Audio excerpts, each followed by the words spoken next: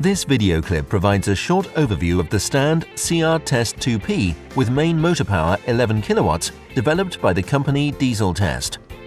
The stand allows for carrying out of procedures related to testing and control of high-pressure fuel pumps for the common rail system from various manufacturers Bosch, Denso, Delphi, VDO Siemens, which can be installed on any diesel engine. The stand model comes with the basic equipment for testing of common rail system pumps.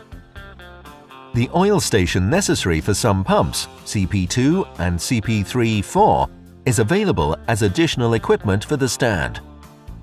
Pump control and filling measurement is carried out by controllers of the series PTC and FMDE. The software of the stand allows for the processing of controller data and management thereof. The stand delivery set also includes a detailed user manual, which includes a full list of equipment, description of hydraulic connections, and instructions for working with the stand. After connecting the high-pressure fuel pump to the stand's hydraulic system and connection of the stand controllers, the stand is ready for operation. Run the diesel test program. The program interface is displayed on the monitor screen. On the tab page CP Tester, both static and interactive information blocks are displayed.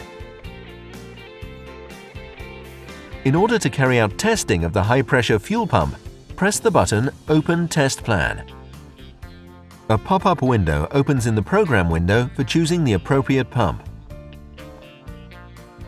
Enter the pump number in the search filter. The program retrieves the search result from the database. Choose the pump of interest. Sequential steps of the test plan are displayed in the window. By switching between the test plan steps, you can see the parameters corresponding to the step in question, such as pump RPM, which are displayed in the program field stand, general information regarding the pump, its direction of rotation, and number. Information on the current test plan with indication of the number of steps, priming pressure generated in the step in question, flow and duty ratio. Pressure value in the rail. Activate the test plan by pressing the button Start Test. The priming pressure, RPM and other parameters are displayed automatically. After the start of the test, real flow values measured by the FMDE controller are displayed in the display block for liquid flow measurements. In the liquid flow display windows, Flow 1 and Flow 2, static information on the range of permissible liquid flow values is also provided, where Flow 1 represents supply from the high-pressure fuel pump and Flow 2 is leak-off.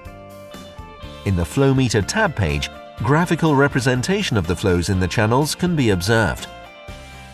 After completion of the test plan, the program outputs measurement results that can be displayed on the screen, printed out, and saved in PDF format. More detailed information on the stand CR Test 2P is always available from us or from our dealers. Visit www.dieseltest.com.